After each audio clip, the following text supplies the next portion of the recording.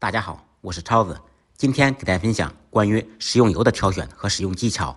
有些食用油适合炒菜，有些适合油炸，有些只适合凉拌。不同种类的食用油差别很大，选对了做菜很香，油烟更少，干货满满。看完视频，保证对您有所帮助。按照油脂的来源，食用油大致可以分为动物油和植物油。在选食用油时，可以根据自身的需要来选择动物油或者植物油。首先，先了解一下这两大种类食用油之间的区别。动物油是利用动物的油脂提炼出来的，像猪油、羊油、牛油等等。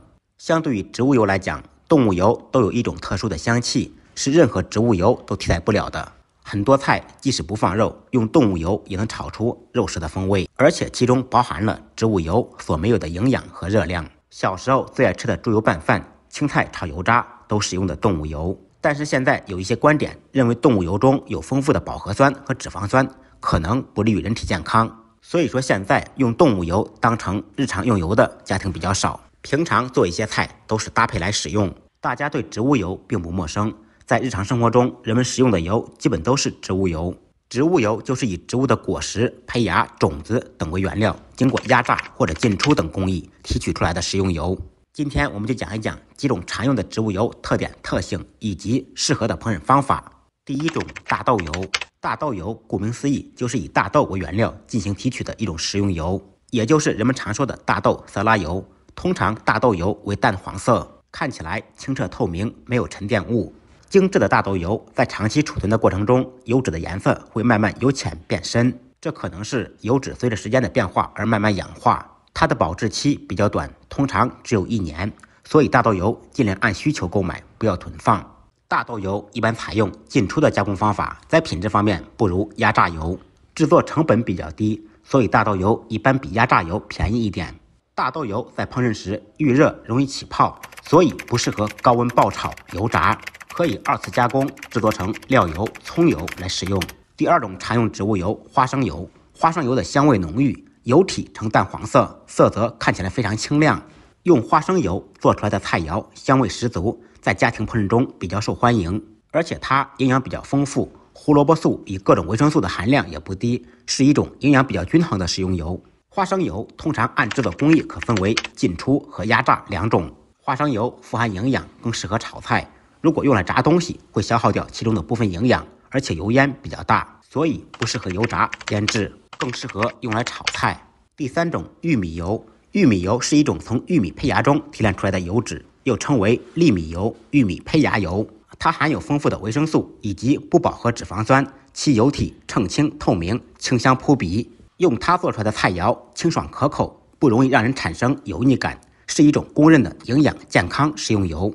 玉米油油烟点比较高，稳定好，不管是快炒还是煎炸都很适合。第四种菜籽油，菜籽油是我国较为传统的食用油之一，香味特殊，在做传统菜肴时使用菜籽油，能丰富菜肴的风味和滋味。它所含的不饱和酸、脂肪酸仅次于橄榄油，胆固醇很少，甚至可以忽略不计，可以认为是一种比较健康的食用油。但菜籽油也有一定的缺点。它所含的芥酸比较高，不太适合三高人群食用。菜籽油的油烟点略高，稳定性也比较好，适合多种烹饪方式。但是因为菜籽油中略带氢气，在制作凉拌菜时不适合直接加入，加热后变成食油炒菜拌菜就很香了。第五种葵花籽油就是我们平时吃的瓜子压榨的油脂，它的颜色金黄，澄清透明，有芳香的气味，欧美等地很受欢迎。含有大量的亚油酸等人体必需的不饱和脂肪酸，被称为高级营养油。葵花籽油耐热性差，适用于温度不太高的清炒、炖煮等等，不适合爆炒、油炸等烹饪方式。第六种调和油也叫高和油，它是由两种或者两种以上的精炼植物油按照一定比例调配的食用油，通常以精炼的菜籽油、葵花油、大豆油为主料，营养和脂肪酸的组成比较均衡。不过，每一款调和油的种类和比例都有所不同，购买时认真观察成分表，按照自身需求购买。调和油基本上适合各种烹饪方法，像煎、炒、溜、炸、凉拌等等。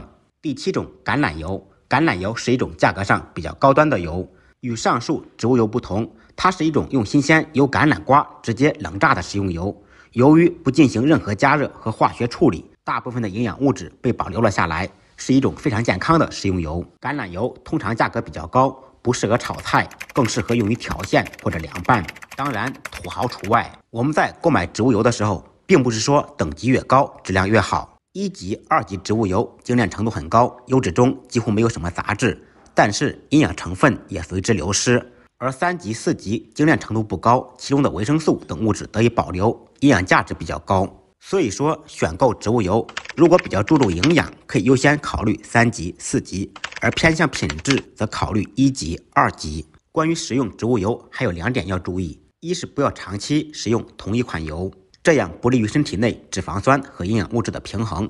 在日常生活中，食用油要不定期的变换，以便均衡营养。二是不要购买物美价廉的大桶油。植物油在未开封的状态下，通常保质期为十八个月。一旦开封后，油与空气接触会加速其氧化的过程，时间久了会略微有异味，甚至会滋生细菌，闻起来有老油的味道，吃了可能会影响身体健康。不经常做饭或者人口比较少的家庭，买小桶油更安心。今天的视频就到这里了。关于如何选油、用油，您学会了没有？如果感觉我的视频对您有所帮助，可以动动您发财的小手，点个关注，点个赞。再忙再累，记得按时吃饭。下期视频见，拜拜。